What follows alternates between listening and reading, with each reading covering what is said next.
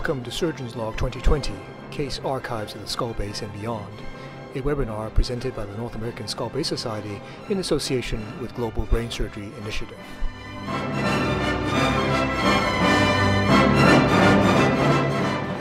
I'm your host, Dr. Walter Jean of George Washington University. If you've enjoyed this and other episodes, don't forget to click the subscribe button on our YouTube channel so that you don't miss any future episodes. For now, put on your learning hats and enjoy this episode of Surgeon's Log 2020. Good morning, everybody in the U.S. And uh, for our international audiences, this is a great time frame for you all. It's midday in Europe and uh, evening in Asia. Uh, so welcome everybody to the eighth episode of Surgeon's Log 2020. For this episode, we have a great panel. Uh, the presenting surgeon will be Michael Ivan from the University of Miami. And uh, our very special guest, senior surgeon, is Professor Atul Goel from Mumbai, uh, professor and head at the King Edward Memorial Hospital. Uh, Dr. Goel has a title, uh, have titles that are beyond uh, an hour to, to list them all. Uh, he is, suffice it to say, a past president of the Indian Neurosurgical Society, and he is on multiple editorial boards, including, uh, I believe, uh, Journal of Neurosurgery Spine, et cetera, et cetera. So it's a distinct pleasure to have such a distinguished international professor with us today. Um, Today's episode, Double Up, Double Down. Our hot seat res- resident is Lekhaj Daggubati from Penn State. Without further ado, let's get started. So, Dr. Dagubadi, this is a 46 year old man uh, who shows up to you with two months of blurry vision and vision loss in the left eye. Uh, he has uh, double vision whenever he tries to accommodate. Um, the diplopia was uh, uh, again found on exam, confirmed on exam, and you seem to see a field cut uh, on, in the left eye on your uh, confrontation exam as well, um, and uh, the field cut's uh, inferior. Otherwise, neurologically, he's intact, which is to say that he's able to move the eye, sensation with the face, and, and everything else is all right. Okay, so first things first. Um, first thing we do with neuro- neurological disease is always to find, figure out where and then what. So where? Absolutely. Um, based on the symptoms uh, localized to the left side and seems to be mainly of the vision, I'd be thinking uh, more in uh, the anterior middle fossa area and localized to the left side as opposed to a global um, pathology uh, because there's lack of right side of any issues with the right side. Can you be um, a little bit more specific as the regarding the anterior middle fossa? Absolutely. Uh, I was thinking uh, more uh, in the orbital apex, uh, right around the um, cranial nerve two, because of a lack of uh, extraocular muscle um, pathology or uh, issues with the extraocular muscles. be less concerned with um, less concerned with uh, the cavernous sinus uh, at this point. Now, would you be able he, to... he has diplopia though. He does have diplopia. Uh, sorry. I, uh, what kind of diplopia does he have? Uh, Mike, can you specify a little bit for him? Yeah, I mean, it was it was uh, diplopia with accommodation and and also uh, with looking down, so more of like a third nerve kind of diplopia. Absolutely. Um, so based on that, I am thinking the superior orbital fissure region uh, on the left side. Okay, so what do you want to do next? Uh, ideally, um, how long, ha- uh, if this is a chronic situation, I would go ahead and get an MRI with contrast uh, at this point. Okay. Uh, so just to describe the I- imaging a little. Please do. Uh, this is, this is axial MRI with contrast uh, shows to have a hyperdense uh, lesion uh, involving the uh, left uh, cavernous sinus invading into the um, mesial or, or, putting pressure on the mesial temporal lobe as well as downwards into the left-sided prepontine CP angle region going all the way down to the seven eight complex. Mm-hmm. Mm-hmm. Okay. Uh, dense may be the, the, the wrong word here for that. That's more a CT term. This, this is we, we only know we only know that it's uh, uh, enhancing. Uh, uh, well, yeah. we don't know that it's enhancing because you don't have the pre uh, GAD, but it is enhancing. and here are your coronals, and I'm going to give you the sagittals just to save time. there you have the sagittals as well. So as opposed to last week when we also had a cavernous sinus tumor, uh, and, th- and that one was really a truly diagnostic uh, problem. This one, I think it might be easier. What is it? Um, based on location and the hyperintense, homogeneous hyperintense, I would say meningioma. Okay. It's the most likely diagnosis. What's next? Uh, so would you be able to go back to the uh, okay. imaging? Uh, based on uh, the symptomology as well as uh, the rapid loss, uh, the uh, loss of vision, I'd want to um, I would want to do um, surgical intervention to decompress the optic nerve as well. Before we, before we get there, what, what kind of uh, other evaluations would you like? I want a uh, ophthalmological evaluation uh, to uh, formalize uh, the deficits the patient has. Uh, so we could also discuss with them about the risks and benefits and the likelihood of any kind of visual recovery. So for meningioma, there's, there are certain things that meningiomas do to surrounding things as well. Uh, are there any other evaluations you want since you said meningioma? Absolutely. Um, I think uh, in this circumstance, um, either from a preoperative planning, uh, I would want a CT stealth of the um, brain, especially the cavernous sinus, to see how it's invading uh, as well as I think a CTA would be helpful as well. The MRA showed that uh, the ICA on that side is uh, looked like it was patent on the MR um, I with contrast. What what do you what are your thoughts on this CT? Um, could you go back up a little? Um, uh, well, I think okay. Hang on, I'm not sure that I can do that. I can replay it. I oh think. no, it's okay.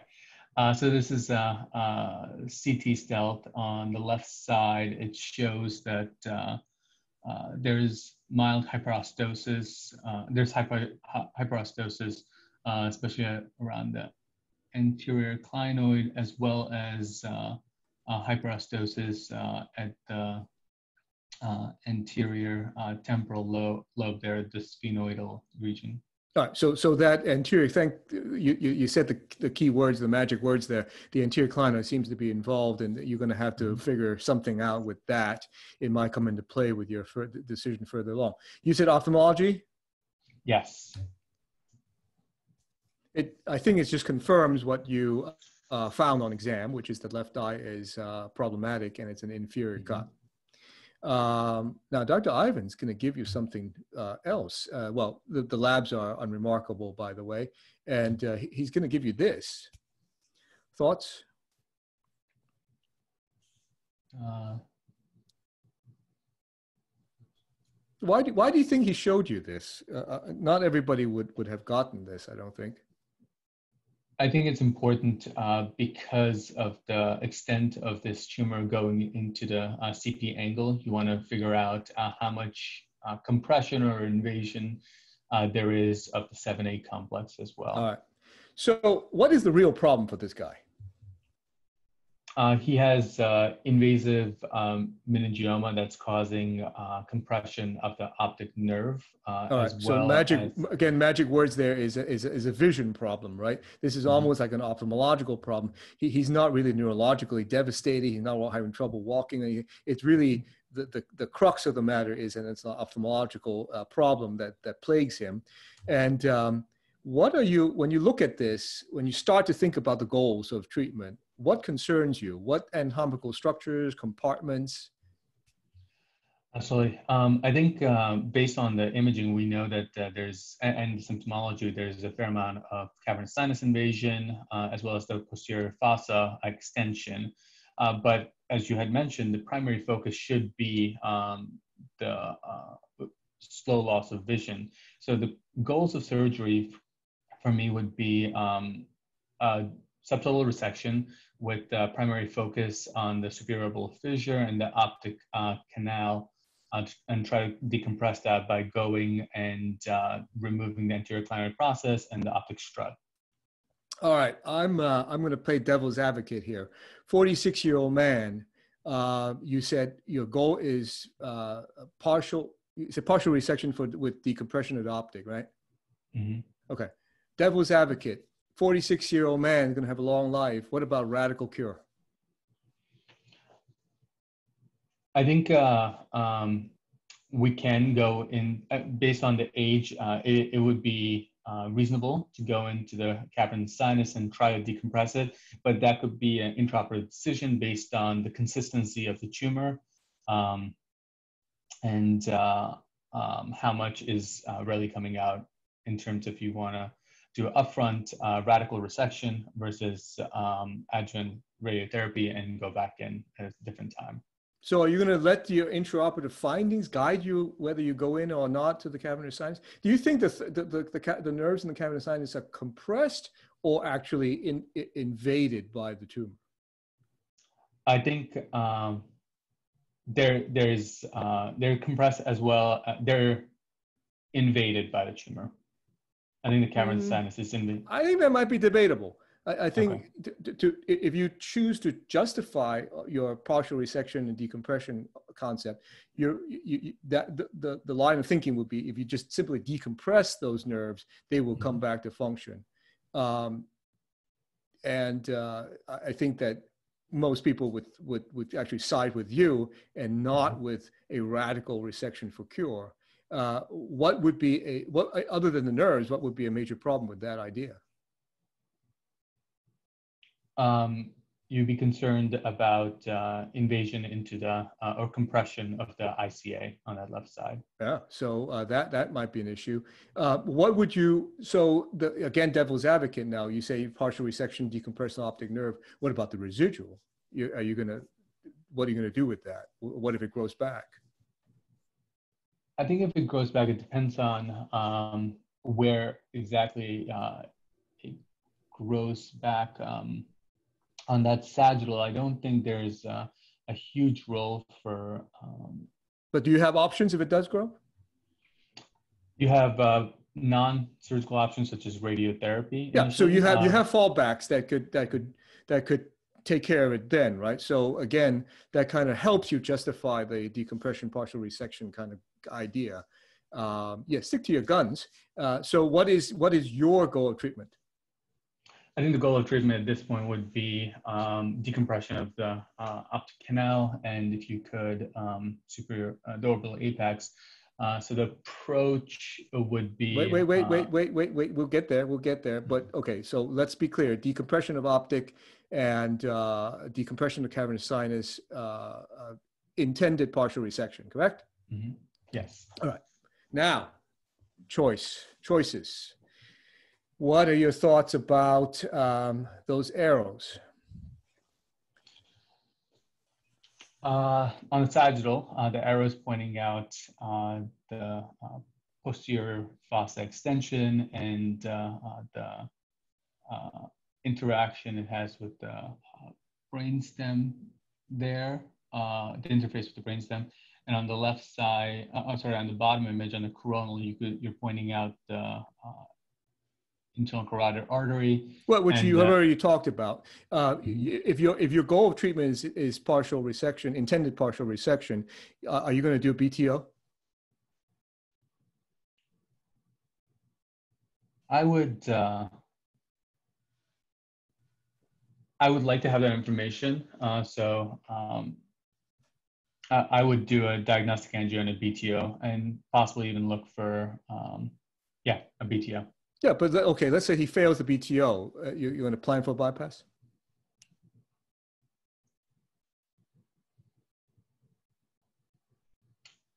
Up front, uh, I would be, um, I would not at this point. Right. I, am make, I'm making a point here, which is that th- this is why we always set the goals first, right? Because mm-hmm. the goals determines what comes next. You, you don't you don't mm-hmm. think of what approaches first and then suddenly set the goal somewhere in the middle and amorphously just kind of pop up the goal treatment. You have the goal of treatment being partial resection, decompression of the optic nerve, decompression of cavernous sinus. You really uh, uh, uh, the, the BTO doesn't come into play anymore, right? Because your, your intention is not to sack the, the not a radical resection, sack the, the, the ICA if it's a BTO positive. Um, the, I think that the sagittal arrow I put there to, to, to ask you, can one approach get to all this? Um, once again, it depends on the uh, goals of care, but uh, uh, if you, uh, if we're chase, if we're going after the posterior um, um, fossa area, uh, then you would need a potentially second approach to get that lower set, lower portion. So again, back Um, to the goal of treatment, is that lower portion really part of your goal? At this point, no. All right, so you, you're thinking maybe that if, if you can't reach that down that low, it, it might be okay with the goal set as it is, right? Yes. Okay, so now comes the million dollar question. Approach of choice. Um, in this case, uh, I would, um, focusing on the orbital apex, I would do a uh, F, FTOZ, um, an OZ uh, primarily, uh, to get down uh, to the orbital apex, as well as uh, gives you the option to go into the cavernous sinus and decompress the cavernous sinus. Anything else other than the OZ?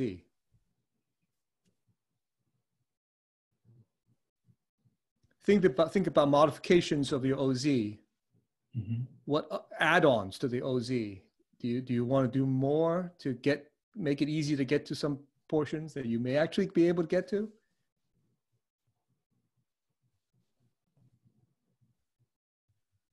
I, It's okay You- to say no. um, I can't think of any right now.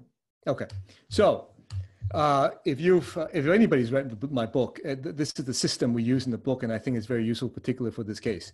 So um, to summarize your uh, approach of choice, you said corridor is anterolateral, right? The Mhm. craniotomy is OZ. Is it one piece or two pieces? Uh, I would do it in a two piece. Two piece. Are you including the whole zygoma and orbital rim? I would do the orbital rim. Uh, I would, um, if you can get away without fracturing the um, zygomatic arch, I'm sorry, uh, zygomatic arch, that'd Uh-huh. be great. If not, I would include that. Out fracturing the zygomatic arch. You got to teach me that one. What What do you mean by that? Um, by uh, uh, allowing it to uh, remain in place by uh, by push it down. Okay, um, so so not- just do two cuts and just flap it down with the master, uh, mas- Exactly. masseter? Okay. Yeah. And you said you couldn't think of any modifiers that would expand your corridors? there, there's always modifiers. I, I don't know if any of them would be helpful in this case. Okay. Uh, To, to Mike, I think this is going to sound very Herosian. Mhm. Position. How are you going to tilt the head? How, how are you going to tilt the patient? Uh, I would do, um, in this case, uh, a 30 uh, degree uh, turn with a slight extension. Okay, malar eminence at the top. Uh, okay. Uh, all right. Uh, the, the incision will be pretty sim- simple. You've already talked about bone opening and the dura opening. So, uh, uh, okay. Um, so I, I will give my two cents before Mike actually tells us what he does. I think that uh, given that the clinoid is thick, which is why I kind of guide you through to that, uh, a clinoidectomy is not unreasonable, and extradural done extradurally is is probably the right thing to do here. Um, you, got a very low component, almost beyond the IAC, but at least to the IAC. Um, I think that adding on the um, an anterior petrosectomy again would be very very helpful here. Now, that then changes your positioning, which is again why I, I, I want to highlight the position, because most of the time when you do a Kawase or anterior anterior petrosectomy, you're almost parallel to the floor. Yeah. But you know, be, be, because you have to do the anterolateral corridor and the lateral corridor, you might have to compromise that tilting to not 30, not 45, not 90, but somewhere in between 30 and 90, somewhere like 45 or something like that. And then again, tilt back. Um, but excellent job. Uh, I, I think I completely agree with your identification of the goal, which is oftentimes the most single most important thing, because then everything else you do, uh, as long as you meet the goal, it doesn't matter whether you did condectomy or or, or all the anterior petrosectomy like like I just suggested. But you know, if you meet the goal, you meet the goal. it, whether you did it one way or the other. So the modifiers simply make it somewhat easier, maybe, perhaps, who knows, right? Mm-hmm. So thank you. Uh, you get to sit back now. Excellent job, wonderful. Uh, and I think you, you you did a great job verbalizing what the audience is thinking. We're going to turn the podium to the presenting surgeon now. Um, Dr. Ivan has a whole slew of titles as well. You can see them on the screen. Um, he's director of research uh, at the Brain Tumor Initiative. And um, he's the king of webinars, so shall we just say. I mean, every week he is uh, uh, on screen and uh, he is the master of this format. So uh, Mike, I'm turning the podium to you. give us your thoughts. Thank you, Walter. I just want to thank the, the North American Skull Base Society, Walter and Michael for inviting me on today. It's really an honor to be on here, especially with Dr. Goel um, and, and, to talk about this this challenging case. I'm sure I'll be learning a lot as we as we go through the case. Um, also, want to say belated happy birthday to Walter. I know today, so, so thanks. Um, so I, agree with with everything that you guys were, were, talking about. I mean, I think it's uh, important in this case to identify the goals, which was really uh, optic nerve decompression. I think for meningiomas, obviously in a young guy, a, a maximal safe resection is um, is uh, the also the goal. Um, his, his optic nerve uh, equiductor motors were really uh, almost intact. I mean, the diplopia was pretty mild and, and new. And so I think preservation of the function of, of those movements was, was also a top priority as much as possible and, and tissue diagnosis. So next. So as far as uh, your approaches, I mean, uh, anytime there's, I mean, it, it's even hard to name this kind of tumor, right? I mean, it's involving cavernous sinus, uh, optic canal, the middle temporal lobe, um, down to the CP angle, petrous apex, uh, all the way into the sella, around the pituitary gland, surrounding pituitary stalk. Uh, so it's even hard to kind of put a complex name to it, but um, anytime you have a petroclival region tumor, I always consider one stage, two stage, what's the approaches. And I think that there are advantages to doing it in two stages um, uh, in some cases. I don't think in this case, but in some cases there are. Coming from the front um, and then uh, posteriorly separates uh, those two areas and gives you better working angles if it was really going anterior and really low in, in the CP angle. I think the other way to do the two stages is if you're going to be doing a, a large bony resection, such as a translab or transotic, um, for these uh, complex uh, uh, petroclival meningiomas, um, that allows not only uh, to kind of start the tumor dissection in the morning the next day, but also allows kind of devascularization and, and some tumor necrosis and, and uh, friability to happen over that brewing stage in between stage one and stage two. And, and I have one of those cases later this week that we're doing it in two stages. But I think in this case, you know, a one stage approach is, is definitely, um, you could reach it all and will, will help uh, give you the best access. So next. As far as what approaches there are, I mean, I think there's a lot of uh, literature. Uh, Walter has his great book, which you already talked about with skull-base surgeries. And there's many other ideas of how you could break down approaches to cavernous sinus and CP angle and petroclival lesions, whether it be coming from anterior transpetrosal uh, or, or, posterior approaches, or whether or not you're looking at uh, the level of the clivus that you're breaking down to the upper, middle, or lower third, and then even extending it into Meckel's cave or the IACs that lateral to the IAC. It becomes very complex, and I think that's why everybody here loves this field so much, that it is a really a strategy, a chess game to kind of understand uh, what is the decision because not every tumor is the same, uh, which I thought was what was so exciting about this case. So next. Um, so again, so my approach was very similar uh, to what you said. Left, I, I, didn't think the OZ was necessary because um, it, it, didn't really go above the basilar apex. So we just did an orbital pterional. I left the orbital bar on and we just unroofed the top of the orbit. We did the clinoidectomy and optic nerve unroofing. We did the anterior petrosectomy. I used the lumbar drain just to kind of allow a little bit of um, uh, brain relaxation to do all of that uh, maneuvering. Um, and this approach will allow you to get both anterior to, allow, to get the optic nerve decompression, which is really the first goal of the surgery, but then also allow entire access to the tumor. I think that, you know, if you're worried about getting in there and it goes below the IC a little bit and you're not going to get to it, you know, it, my approach to this tumor was it's going to be a subtotal resection anyway. Um, even if the tumor was soft, it'd be very difficult to get all the way through the cavernous sinus into the sella around the pituitary stalk.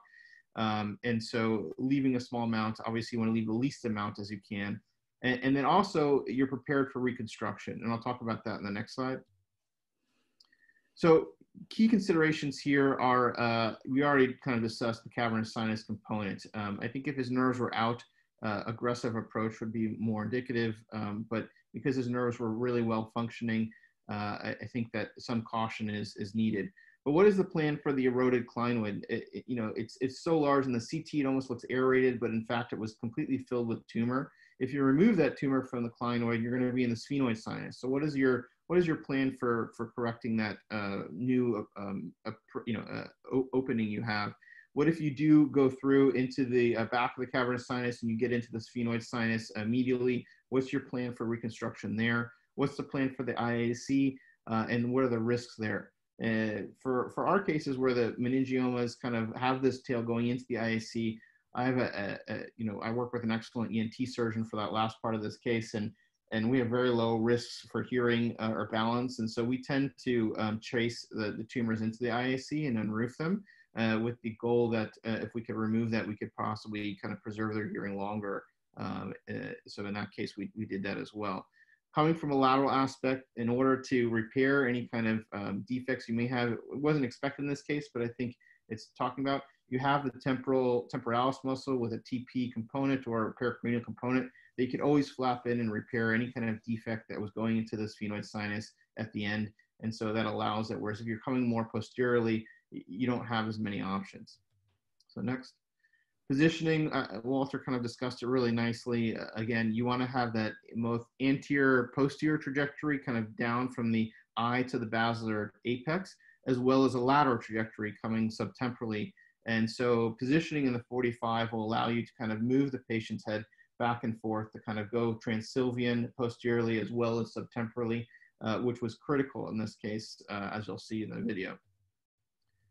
Uh, so if we break down the surgical steps, uh, it's, it's two main components. One is the extra, all the extradural components, and one is the all, all the intradural components.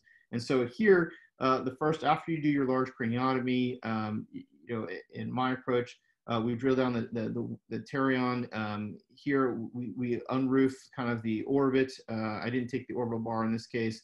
Uh, we do the kind of Hakuba approach where we release the temporal dural over uh, the supraorbital fissure and then follow up back along V2 and uh, V1. Uh, this allows you then to do your optic nerve unroofing and then the clinoidectomy and then work posterior along the middle fossa and then eventually do your Kawase. So two main steps here were the, the clinoidectomy and the Kawase, which is kind of what I interpreted as as Walter's uh, double up uh, component of this. I, I, thank you for saving my butt on the double up, double down moniker. uh, I, I, had nothing. I had nothing. Uh, but but one point to clarify: when you say orbital pterional, you didn't take the orbital rim or roof, uh, or, or, the orbital superior orbital rim. You you you talk. You're saying orbital pterional in that you unroofed the posterior orbital roof. That's correct. Okay. Yeah. All right. That's correct. Um, so, and then uh, you could just kind of click through this. Obviously, just reviewing, uh, you know, the clinoidectomy, you want to make sure that you, as you do the optic nerve unroofing, you're uh, releasing the middle uh, medial component of it. You want to go then over top and then uh, release the, the, anterior part of it, the lesser wing, and then eventually the optic strut uh, in this case. And, and, and just reviewing that because here we had to make some decisions with the clinoid as we got down to it. So next. So let's just start the video. Uh, so just a couple key uh, points throughout the case that I want to talk about. Uh, one, here we are uh, kind of drilling off uh, the roof of the optic nerve. I try to flick off the last piece of bone here. But interestingly, as we get to the last part of the optic nerve unroofing in this last part, you could see that the entire clinoid complex kind of rotates. Uh, it's very subtle there, but as soon as you release the optic, the top of the optic canal, the entire clinoid moves and, and, that tells you that there's already the tumor's eroded to it and, and it's broken that kind of optic strut and you don't know where that break is. So that turns into more of like a complete resection of the clinoid to more of an excavation of the clinoid because you want to be very careful. So we drilled out a large part of the clinoid and then finally removed that last piece with really careful attention to knowing where that break point was. Um, uh, as we go down now we work uh, along the middle fossa floor uh, to do our Kawase in this case, what we ended up finding was a very, very large MMA. Uh, you'll see this is a nine sucker, and the, the MMA was almost the same size of it. Uh, so uh, we cauterized it and then I tied it off because I was worried, uh, you know, you don't want it to retract uh, and, and when it starts bleeding, if after you cut it, it's very difficult to stop. I thought that was very helpful. We then uh, work with our drilling to do the, the Kawase. I'm not going to go over all the details of a Kawase at this point in time. But in this case, what we did is we ended up, I always find it difficult, especially in the beginning, to find the true and the false ridge of the petrous apex. And in this case, there was an extra false ridge. As you can see here in the CT scan, there's a kind of hyperostosis and a spicula on top of the petrous apex. And so that proved to be a little bit more challenging. And I think it's important to kind of pay attention to ensure that you're all the way superior to that petrous apex um, in these tumors, because uh, that allows you to really get more access and understand the full extent. And after we removed that, you can see we were able to then anteriorly move the retractor to see that anterior part of, of the bony that we need, the bone that we need to remove. In this case, we extended the Kawase more posteriorly along the petrous ridge um, uh, because the tumor had a, a, tail that went posteriorly. Uh, we ended up drilling over uh, the, the uh, super, uh, superior semicircular canal and, and, then exposing the IAC as I talked about earlier um, to gain access to that last tail of the tumor. Uh, so next slide. Uh, so once we complete all the extradural steps uh, and, and all of our bony exposure, uh, the next step would then be going uh, intradural. And again, there's a lot of tumor to approach here. So my uh, approach in this case was again to work from an anterior to posterior kind of trajectory. Again, focusing on the optic nerve first because that was the most important kind of goal of surgery. Uh, to do that, we did a large Sylvian fissure split. The intent was to then kind of detach the temporal lobe, even though it was the dominant side, and kind of do a, a trans-Sylvian one and a half approach as far as we could go, and then eventually move subtemporal. Uh, do your optic nerve decompression, middle fossa resection, and then go behind the tumor, uh, open up the tentorium, find the fourth nerve, and then cut the dura, open up the superior petrosal sinus, and work down posteriorly uh, into the posterior fossa and the IAC component. So next. So here's some of the, the video uh, intradurally. Uh, again, uh, plans never really go as you think. So we open up the Sylvian fissure, and of course we find uh, a tremendous amount of bridging veins on the dominant side, uh, as well as two very large veins going to the spheno, um, uh, sphenopalatine sinus up front. and so what do you do in that case? And in these cases, I try to hold off on taking these until I'm absolutely sure, especially because we had two working corridors here. Um, in this case, you can see here that there's um, uh, kind of this trifurcation of uh, anterior veins going from the temporal to the frontal lobe. Frontal lobe is on the right and temporal lobe is on the left. When I find these, uh, obviously we had to take some of them. I try to take them above the, the, where they trifurcate so that you could at least preserve the flow between these three branches and uh, re reduce the chance of venous congestion by you know, equalizing the flow in those. So we, we cut it above the, that kind of branch point, and that allowed us at least to open up the fissure a little bit further uh, going down.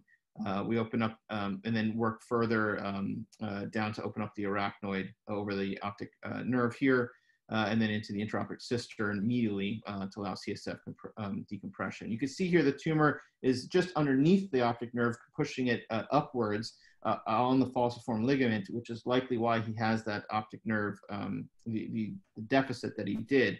And so when I see that, I try to decompress that component as early as possible before manipulating the tumor too much to reduce any kind of constriction along uh, at the optic canal. Uh, you can see here the, the third nerve, which we're getting a peek of, is completely encased with tumor. Uh, the tumor was very firm, unfortunately, and vascular. Uh, and so we're kind of just cutting right over the nerve to try to expose it. And then after that, there's third nerve. Um, here we're looking in the oculomotor triangle underneath the optic nerve uh, I'm sorry, uh, um, carotid optic triangle, and then now medial to the to the optic nerve to really decompress 360 the nerve uh, up front early in the case. And there's a good look of the optic nerve now completely decompressed. Working lateral to the carotid uh, now in this trans-Sylvian's workspace uh, below the third nerve, uh, again uh, to try to release it as much as we can and find that tentorial edge and work posteriorly as much as we can. Once I kind of maximize that approach. We then moved subtemporally here uh, and, and, worked along uh, that side of the tumor. Normally there's a good plane here with, with these tumors and you can see here that trying to make the, the, that plane even when laterally was, was very difficult. Um, and so most of the tumor needed to be removed just by cautery and, and direct cutting. Um, And then lastly, uh, sorry, my files got corrupted, so this is kind of a, from another case, but it, it kind of illustrates the, the last point. So lastly, as we continue to work posterior, we, we identify the tentorial edge, uh, we see uh, the fourth nerve underneath it, and then just behind the fourth nerve is where we make that tentorial cut, uh, and that allows us then to kind of identify the posterior aspect of the tumor uh, and then uh, kind of open up along the fourth nerve uh, on the tentorium uh, towards Meckel's cave in the back of the cavernous sinus uh, to allow us to mobilize that and, and, expose that corridor as much as we can. Uh, we finish opening up the tentorium, then we come back extradural, open up the, the dura and, and take the sphenoid, the, the, superior petrosal sinus to allow exposure into um, the posterior fossa. Here we're elevating the tumor off of the fifth nerve in the back uh, which will allow us to kind of really see behind the tumor uh, in this case. Remember, the tumor is really attached in so many areas that it's it's hard to mobilize it in too many areas. So anything you can do to find a good interface is key in these cases. And so, you know, uh, when we maximize the front, coming all the way behind it to find that new plane uh, was very, very helpful and, and, gives you some hope that, uh, you know, you'll, you'll be able to get out more tumor than expected. Um, so here's just moving that last CP angle uh, component. And then we were able to then kind of work into the IAC component lastly.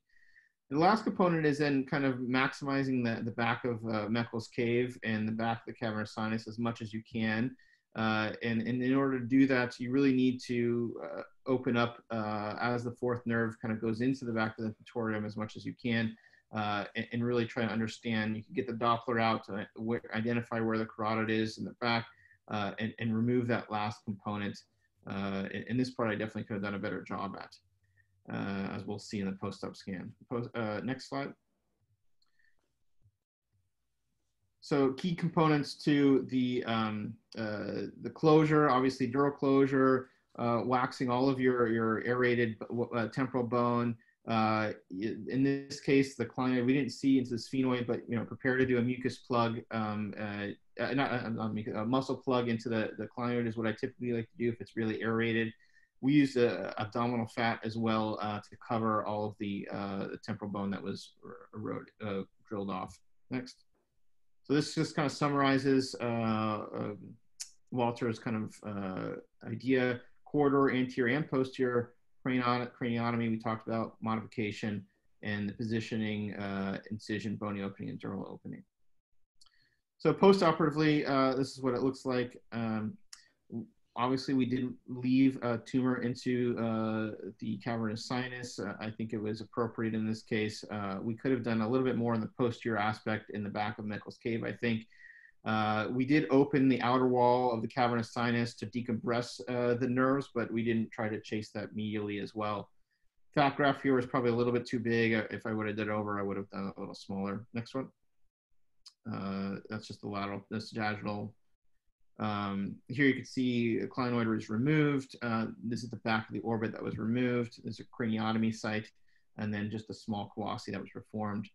Unfortunately, pathology in this case came back as an atypical meningioma, which kind of uh, makes sense when you go back and look at the scan. The fact that this tumor had spilled out in all different directions kind of should raise some flags of that uh, preoperatively. And so what to do after that uh, next is that the plan is going to be radiation.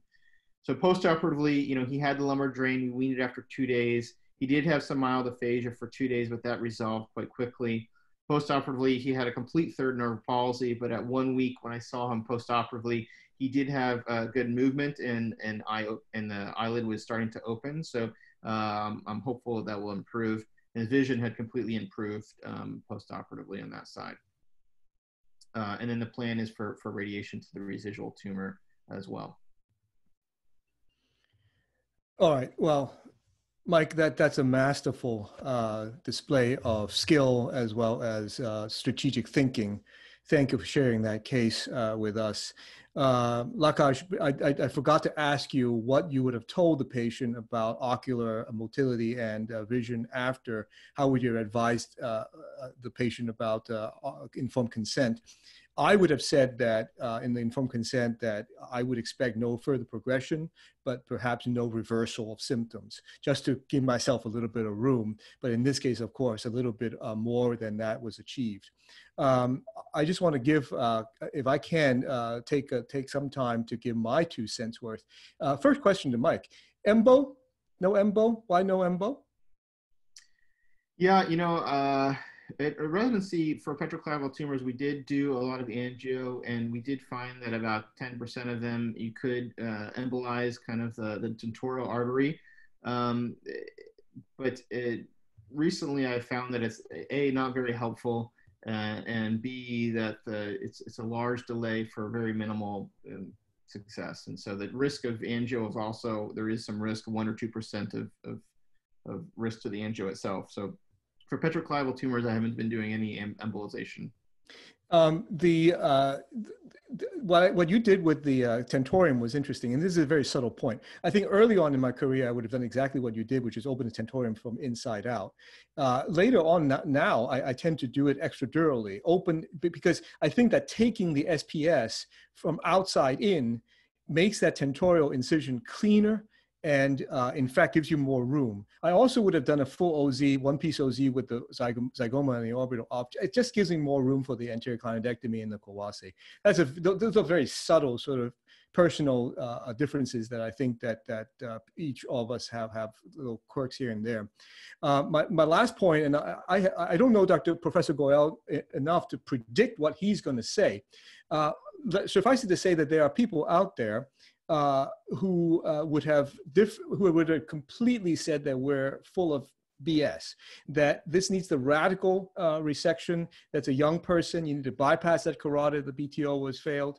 Uh, and that uh, what we're uh, contemplating about just decompressing the cavernous sinus is complete bunk. Uh, I can think of well, Sam um, and and others uh, as well. So uh, with that, I'm I'm I'm very curious what Professor Goel is going to say about this case and, and similar cases about the radical versus non-radical. So what I'm going to do today, Walter, as per your instruction, I'm going to talk on my philosophy on surgery on lesions involving cavernous sinus in general. And my talk will be essentially directed towards the residents and to the young neurosurgeons. I have been heavily involved in cavernous sinus surgery for about 35 years, which I'm going to show. And uh, there have been several publications in various journals for a long time. And some of these uh, publications are quite well cited in the literature.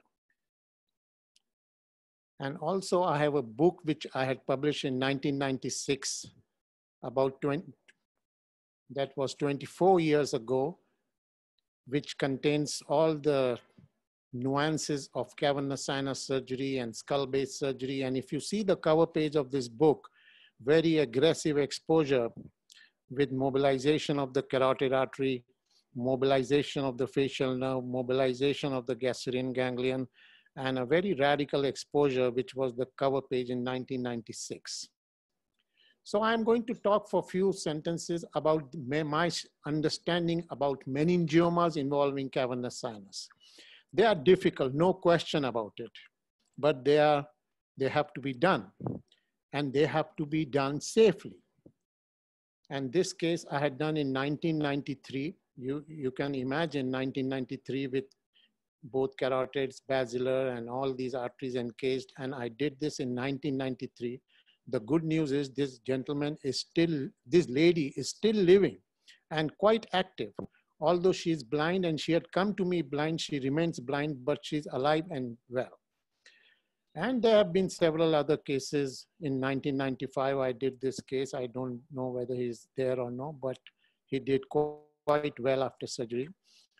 1995, I did this. There was small residue along the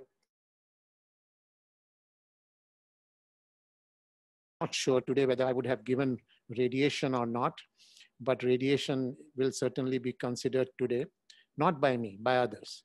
I don't like, I don't give. So this was another petroclival meningioma I had done several years. One thing I must give a message to the residents and to everybody. that showing a preoperative scan and postoperative scan is not a trophy. Trophy is showing an intact patient. And there can be big problem. This patient developed hemi hemiplegia after surgery. I had done in 94 or 95. This patient was had come to me for follow-up about seven, eight years ago, still having, he's able to walk and conduct and has no problem, but still has an hemiparetic gait. So I'm wondering whether my radical resection and whether my taking of risk around the carotid artery and other things, were they good for this fellow or not? So these are not minor issues in cavernous sinus surgery. And I will invite people listening to me to go through this beautiful editorial of mine where I summarize my philosophy of dealing with cavernous sinus tumor. Dr. Lekhraj said that I will plan for a subtotal resection. I must say planning has to be always for a radical complete resection. Planning has to be radical. Maybe we don't execute that. More important than radical is safe resection more than optic nerve, of course, optic nerve is a, is a primary issue. Oculomotor nerve is also an important issue. You damage the oculomotor nerve, it is better to not have vision than to have vision. So oculomotor nerve forms, or the movements, the sixth nerve, they form the critical issue in cavernous sinus surgery. Just to give us parallel kind of situation, this is a convexity meningioma. This is attached to the convexity dura. It is not going into the superior sagittal sinus. This is a benign tumor according to my calculation. This is a good tumor to resect. You resect and you, you cure the person. When the tumor goes into the superior sagittal sinus, inherently, inherently, this tumor is more aggressive than a convexity dura-based meningioma. If the tumor involves the superior sagittal sinus, this tumor, this convexity tumor which involves the superior sagittal sinus is inherently more nature. And when it goes and involves the skull and sub, subgaleal space, there is no question. We have to have an understanding that we are dealing with an aggressive tumor.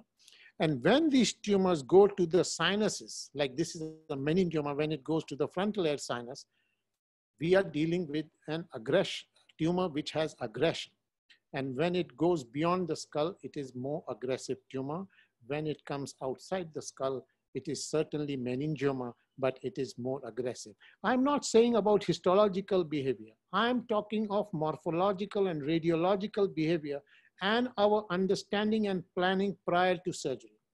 So meningioma is one tumor which goes on both sides of the dura. If it remains on one side of the dura, that is a benign tumor.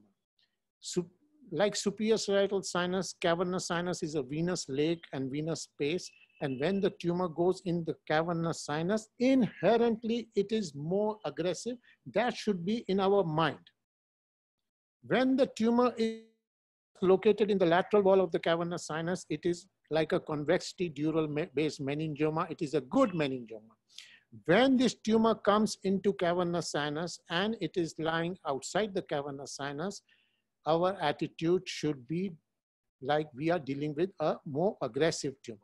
And when this tumor outside in the cavernous sinus and in the sphenoid sinus, when you have these kind of three locations, our understanding is very clear that the tumor is more aggressive. Isolated or completely intra cavernous sinus meningiomas are rare. I did this in 1995 and there was a recurrence in 2001. No matter total excision or total or not total, but recurrence. So behaviorally, there is no question that tumors which involve the cavernous sinus are more aggressive. And when the tumor goes into the sphenoid sinus like this, you can take it like a malignant tumor or a malignant meningioma. And when the tumor goes and involves the orbit, there is no question and no doubt, and every series in the world believes and agrees that these are like malignancies and you have to treat like upfront radiation right from the beginning.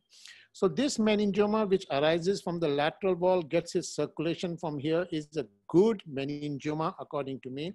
This meningioma arising from the roof of the cavernous sinus is not involving the cavernous sinus. So it is like grade one convexity dural based meningioma from the posterior face of the cavernous sinus. This is a very beautiful meningioma to remove. This is postoperative scan. This is another from the posterior wall of the cavernous sinus. This is postoperative scan. This tumor is like a convexity dural based meningioma, but it is involving, which makes the things difficult, which makes it precise and complex and challenging surgery. You'd remove the whole tumor, nothing but the tumor, but you take one vessel, you damage the person. So your aim has to be radical, complete resection without any doubt. You should not, Dr. Lekhraj said, that I, my plan for subtotal resection. Never plan for subtotal, always plan for total. But when you are going, if you are going beyond your personal level of comfort where you think you can damage the person, it is the time that you stop. And this is posterior clinoid meningioma. These are rare meningiomas. This kind of anostosis, when you see, they are between, they are not very benign and not very aggressive. Now the question is, you see, this is a big meningioma here and there, and I had left some meningioma behind, and for a long time, this now, whether I should have removed, whether I should not have removed, whether this is a wrong approach is a question which is not difficult. This is not to be discussed. You have to do as much as you can safely and properly. The patient should be preserved. I am not saying the patient will always be preserved. I, please don't misunderstand me. Oculomotor nerve, sixth nerve are in big dangers. So you have to accept dangers, but you can give new life. This gentleman is also alive for several years now. This gentleman, this tumor was like a rock going in the cavernous sinus and he has been already operated somewhere and then came to me. I tried to remove and I have removed only very, you know, nothing in the cavernous sinus, lot of tumor in the posterior fossa, but this gentleman is quite well for several years. At that time, you see, I was thinking of coming from the second stage to remove this, but he didn't agree at that time and there was no need. He's completely all right. The question is, the question is, we have to do what is safe, but we have to aim for the moon. We cannot aim for lesser than moon. That is the behavior that the surgeon has to adopt whilst dealing with these kind of uh, complex tumors. Some beautiful sentences I am giving you, Walter, you please try to analyze this when, you, when I finish. Curing is a non-issue in the treatment of meningioma. Never I will say that I will remove the whole tumor and completely cure you. I will remove Simpson grade zero or Simpson grade minus zero or something like that, and the cure is there for you. That is never, once a meningioma, always a meningioma. You cannot ever cure a meningioma. This another beautiful sentence is recurrence of a meningioma is independent of extent of tumor resection. Very complex sentence, but I completely believe in this thing. It is not the treatment, but the cellular behavior that decides the outcome, ultimate uh, recurrence of the tumor and ultimate behavior. I will say what Mike did was fantastic. He has done safe resection, but he had a problem with oculomotor now. And that is not a small problem. I, you know, and he also knows he's doing beautiful operation, but that is a complication and one has to accept it. Now I want to turn your attention to my experience with cavernous sinus of last 35 years, and I want to give you some beautiful personal experiences in the journey with cavernous sinus and love with cavernous sinus. And there are several articles that are mentioned here where I have discussed about speculations about the function of cavernous sinus, its role in eye movements, its role in vision, its role in life, its role in protection of the pituitary gland, the regulation of the pituitary gland, regulation of body temperature. There are several speculations. Those who will be interested must read these papers. Now, what I'm going to show you is the power of Dura. Power of mother. Dura mater. Dura mater means maternal or mother. And this is from Arabic legacy. Alam al-dimag means the meninges are the mother of brain. So this is the basis of my presentation today. Dura or Dura mater, mother, is the ultimate. Dura, we should love to respect. Dura, because tumor respects the dura. Tumor respects the membrane. Dura is an embryological initiation of the whole life process. So this is the dura of the cavernous sinus, an extradural approach to lesions involving cavernous sinus. In this article in 1997 was the first article in the literature where extradural approach to tumors involving cavernous sinus was discussed. I'm not saying, of course, Vinko Dolenc's work is, he's the king of cavernous sinus, my personal friend and a great hero of mine. He said about vascular lesions approaching aneurysms. He also discussed about extrageminal neurinomas, but this paper was the first in Pub, PubMed and Medline talking about extradural approach tumors involving cavernous sinus. And this article discusses about how the relationship of carotid artery will influence the diagnosis of the tumor and influence our surgical attitude. This tumor is one of the most difficult neurosurgical problems. This is cavernous hemangioma of cavernous sinus. It is located right within the cavernous sinus. The beauty of this tumor is that it is completely benign. The another beauty of this tumor is it is entirely intracavernous it will never transgress the dura. It goes near the intercavernous sinus towards the sella, never involves the pituitary gland. It goes towards the orbit, goes towards the Meckel cave, but it is entirely within the cavernous sinus. Sixth nerve is encased by the tumor, which we have to identify early. Carotid artery is circled by the tumor and very heavily vascular tumor removal. This was among the first articles where pre-op and post-operative scan was shown with complete resection. So these are, in, they respect the dura. That, that is one thing. An extradural approach. So we described extradural approach to these lesions, 13 cases in the year 2000. This was the first time in the literature extradural approach to these lesions were, was described. Now I have about 38 or 39 cavernous hemangiomas, which is, which is amongst the largest experiences in the world these tumors have to be removed extradurally. So this article was one of my very fantastic articles. Cavernous hemangiomas are difficult, dangerous, indications are precise, execution is meticulous and perfect. You can damage the sixth nerve, you can damage various things, but this is the only way you can restore the eye movements and give a smile on the patient's face Otherwise, this patient will never improve going beyond time, my dear friend. Sorry, and good you stopped me. So that, that was normally... that was amazing. So so back to the uh, back to the case at hand, uh, Professor Goel. What would you have done with Mike's case? Yeah. So now the issue is you when I see the case which was there, Mike's case, the basic thing that will come right in front of my eyes is that we are dealing with an aggressive tumor. We are dealing with a tumor which is not a very benign natured tumor and which is not a simple tumor. So my first and foremost idea will be that I have to be, you see, there is no way I can say I will be just doing a partial resection or I will go for a subtotal resection because sometimes the tumor itself directs you, sometimes the tumor itself leads you to that situation. So I plan for a radical resection and I do uh, whatever, I think Mike has done a wonderful job in this case. That's great. So for all the trainees out there, um, Dr. Daggubati and, and others, uh, you can see that we, we don't always agree. Uh, and I think we're allowed to do that. Uh, we don't always agree, but I, the one thing that we do agree is that we have uh, the, the patient's best interest in mind, and we don't we, we certainly don't want to hurt the patient. So your, your own experience is going to guide you which uh, uh, the goal you take, given your experience of, of what the cranial nerves does uh, afterwards, and so on. At this point, I'd like to uh, thank thank the panelists for being here. Uh, special thanks for Dr. Goel for, for joining us from all the way from Mumbai. Uh, Dr. Michael Ivan, who's put in a lot of work on, on this case. I know he's been working late for several nights on this. Uh, you know, with all his other duties with the webinar and all his other work as well. Um, Lekhaj, thank you for, for being on the hot seat uh, and uh, um, you know, you take certain coverage from that. Uh, a certain uh, a plug for next week.